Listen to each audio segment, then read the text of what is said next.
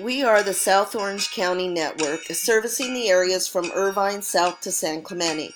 Currently listed homes range from 117,000 up to 49.9 million. Former President Richard Nixon's historic San Clemente Western White House was listed for 69.9 million and recently expired.